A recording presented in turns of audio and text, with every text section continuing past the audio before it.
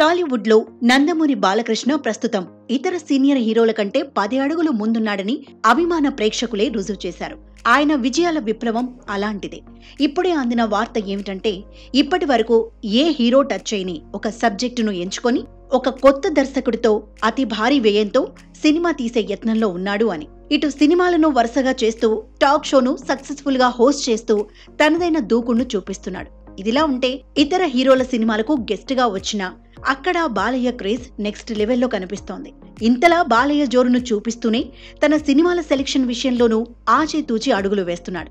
అయితే ఇప్పటికే young director Gopichand మలినేనితో వీరసింహారెడ్డి అనే పవర్ఫుల్ సినిమాను సంక్రాంతి బరిలో రిలీజ్ చేసేందుకు రెడీ అవుతున్నాడు. ఈ సినిమా తర్వాత మరో యంగ్ డైరెక్టర్ అనిల్ రావిపూడి డైరెక్షన్లో ఓ విభిన్నమైన పాత్రలో బాలయ్య నటించేందుకు సిద్ధమవుతున్నాడు. అయితే ప్రేక్షకులు మునుపెన్నడూ చూడని బాలయ్యను ఈ సినిమాలో చూపించబోతున్నాడట దర్శకుడు అనిల్ రావిపొడి.